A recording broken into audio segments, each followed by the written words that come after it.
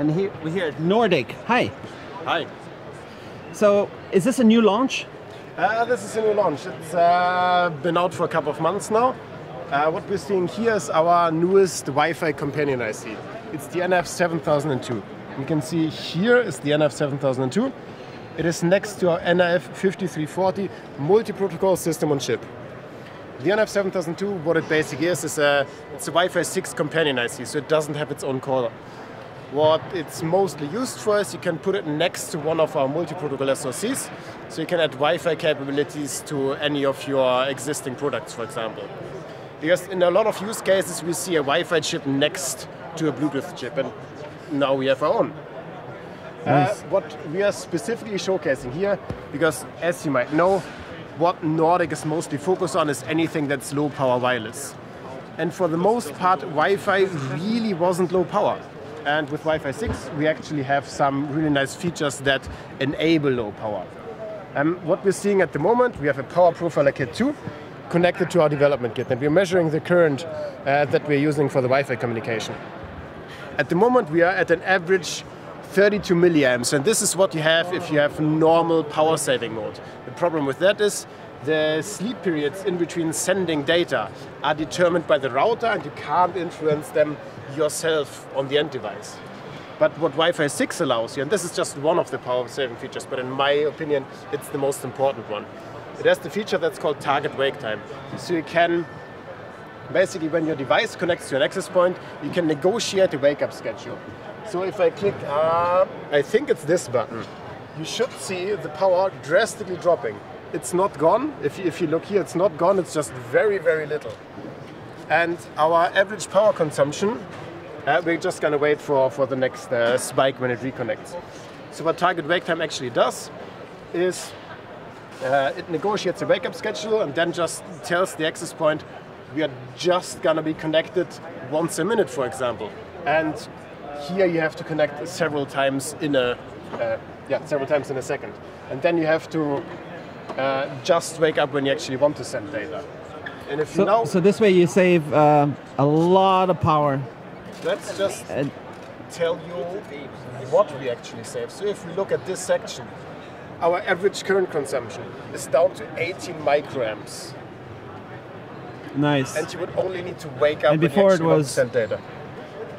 Before, and this is like during the legacy power saving mode, you're at uh, 7 milliamps about. You, can get lower if you have different DTIM values, but uh, usually uh, if, if you're constantly connected, you'll be about uh, 30 milliamps or something. Uh, with uh, DTIM, like with the legacy power saving mode, you can go down to a couple hundred microamps.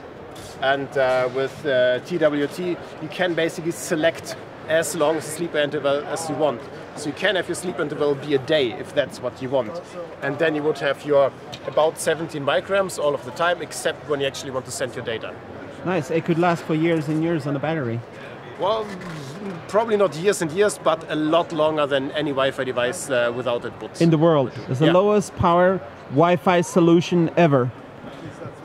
Potentially, it depends wha- how you use it. It, it, But it depends on how you use it. So, like, th- th- this is nothing that we did on our own. So, you will find di- different chips that basically do something similar, but uh, you will not find anything that's, uh, yeah, you will not find anything that's uh, a lot better than what you do. So, Nice. it's it's when somebody tells you it's the lowest in the world, there's a very high chance they're just gonna lie. So, which is why I'm not doing it to you. So, you, you will be able to reach this in uh, with other devices too. And when, when I look here, I see a module with Fanstel, and it's putting the chip on the module. Yeah, so th- th- these are different models, right? So this is a Fanstel model with this chip integrated and an integrated antenna. And in this module, we're basically doing what we just saw in the development kit. So it has- it has the nRF7002 next to an nRF5340 multi-protocol SoC. So this module has Wi-Fi, it has Zigbee, it has Thread, it has and it has NFC. Well, it doesn't have NFC unless you connect an antenna to it. And But it's the size of a little USB stick. Yes. And it is actually possible to even make them smaller if you want to. Nice. Uh, so the cost of the device and the cost of the power, very interesting for the industry, the Yeah. embedded world. So that was an exciting launch Yes. recently. And a lot of people talking about this at the show. Yeah, we, we actually get a lot of interest on this, especially like we, we actually have some of our competitors come over here and check it out. Uh, I just, well, I shouldn't say names, but uh, Yeah. so we, we had a couple of the application engineers actually checking this out because, because customers had been complaining to them. Uh, so we're probably gonna see very similar demos at other suppliers soon. And you had other demos here in the booth also. Some of them also using this, or it's different demos. Uh, we have some of them using this. Uh, as you have come uh, while everything's Yeah. closing down, not everything's working anymore. But uh, we have actually two different applications where we have the same thing. Uh, one of that is asset tracking. So what you can do with with a Wi-Fi chip is you can do something that's uh, SSID-based Wi-Fi locationing. So we have chips that. Uh, I'm just gonna show it in here. Whoop. So this is our nRF 9160. It's a low power cellular IoT system and package. It does NB-IoT, NB-IoT, it does LTE-M, and you can also get uh, GPS GNSS. So it's really good for asset tracking, to figuring out where you actually are. Uh, one major downside, or like one of the problems that you actually have with GPS is it has some areas where it struggles. For example, right here where we're standing, we wouldn't get a good GPS signal because there's a roof on top of us. Or if you're in the middle of the city, you're usually not getting any good, uh, you're not, not good at any good uh, GPS signals. So what you can do then is uh, SSID-based Wi-Fi locationing. So what you're basically doing is you look at all the Wi-Fi networks that are close by and uh, collect that data, send it up to the cloud, and the cloud will give you a very accurate estimation of where you actually are. Nice. And this, and this is the part why it's interesting. Uh, at all the places that I just mentioned where GPS tends to struggle is exactly the places where you usually have lots of Wi-Fi networks. So this fills a really good gap. It takes less power than GPS, and it's more accurate than single cell or multi-cell based uh, locationing. And it's a standard 3GPP or no? Uh, How so- does so- it get implemented by everybody everywhere? So you, you basically just need a Wi-Fi chip and something to send data to the cloud. So in this case, we're using our, uh, th- this is 5G, so this is LTE-M and BIoT, uh, normal 5G standard, but the, the low power version of it. And uh, we're just adding Wi-Fi capabilities to it just for the Wi-Fi sniffing. We're actually working on IC that does nothing else than just Wi-Fi sniffing specifically for this use case. And this is where we're actually to be uh, the first in the world and actually the, the best solution when it comes to SSID-based Wi-Fi locationing. And because this I say because we are actually the only ones who have the complete solution from the hardware, so the NB-IoT, the LTE-M, so you can have cell-based measurement. Then we have the Wi-Fi IC that just is there specifically for this use case, and we have the cloud service. So you have everything in the whole chain just from one supplier. Nice. That's useful to have Yeah. one supplier sometimes. Then you, you get the full support on everything. Yes. You don't need to search around or mess around or Yeah, no, th- this, this is exactly the case because a lot of the time when you mix chips and services from different suppliers, you'll end up in the situation where something doesn't work. What you're gonna have to do is you talk to anyone and they're always gonna point the finger at the other person like, okay, this is the Wi-Fi module maker's problem, or this is because the GPS doesn't work prob- properly, or this is the cloud service provider. And in this case, if something doesn't work, we are the ones who will be able to help you. and you guarantee it works. Yeah, it works. You can see it. It's working right now. And uh, so, how long are we from a play a time when when all this it works? When It uh, works right I can now. do my Google Drive, uh, Google Maps indoors, and it just a- a- expands the capability of GPS and Yeah, everything. So th- this is actually something uh, that your phone is doing right now. So uh, this is not as like not in itself a new technology. We are just reducing it down so it works on really low power. Right? Most of the things in a phone aren't uh, built to be super low power. Right? Your phone, as you might know, the battery is going to hold two days. If you build a device like this, your battery can actually hold up for a year or longer. nice. you So you're making the the SSID Wi-Fi indoor positioning much more affordable, cheaper, and Yes, but like this is a very specific distinction. It's not indoor positioning. It's actually similar to GPS, right? So it's not high accuracy indoor positioning, which is also a Wi-Fi use case, but that's not what we're doing. The use case SSID-based Wi-Fi locationing is very similar to what you can achieve with uh, GPS in areas where you have uh, lots of Wi-Fi networks. So, Nice. for example, in the middle of the city.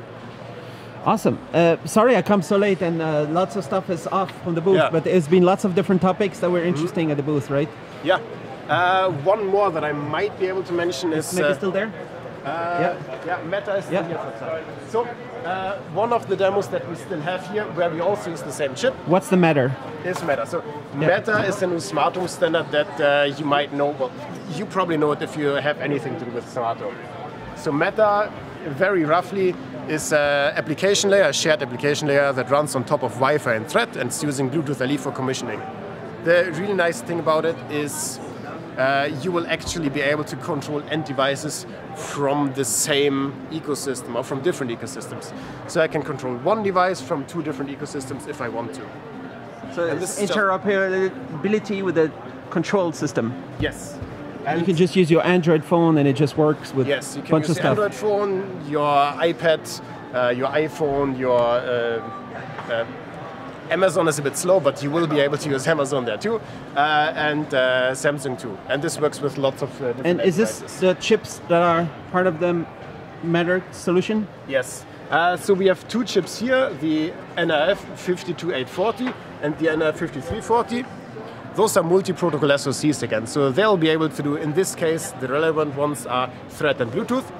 And adding to them, if you want to, if you need it, you can add the nRF7002 to add Wi-Fi capabilities to it. This is interesting because Thread can use uh, either uh, because Matter can use either Thread or Wi-Fi as a transport. And in this in this case, again, we have the complete solution.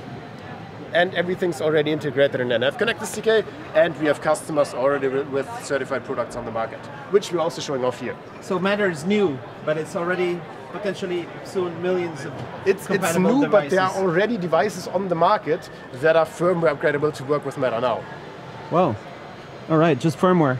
And then, uh, so that, that was a hot, hot point here. People want to talk with you about how they can get the Matter implemented in all kinds of ways. Yes. All right, cool. So thanks a lot. And there's, oh, here I see some indoor location. You were showing that last time with the array of antennas and stuff Yeah, like that. uh, th- this demo is actually the same one you've probably seen the last time. Uh, what we're basically doing is uh, this is uh, uh, indoor locationing system or high accuracy indoor locationing system based on Bluetooth, uh, where we have different phase shift based uh, methods to actually figure out uh, where a device is in relation to one another. Nice. Hmm? That's awesome. All right, cool. All right, okay. Oh, So, uh, this this reminds me. Uh, if this one's interesting, we actually have a YouTube video dedicated to this exact topic. That is called on your channel? on our channel. That is called. Uh, I think it's called High Actuary. No, what is it called? My colleague knows it. Yeah, they will. I will link to it. Yeah, perfect. I'll find it and link to it. Measuring distance with the 2.4 gigahertz radio only. Cool. All right. Perfect. Cool. That's awesome. I think Thank- we've gone through the most of we got through everything that's still not packed away. Yeah, cool. Thanks a lot. yeah. Thank you. Thank you.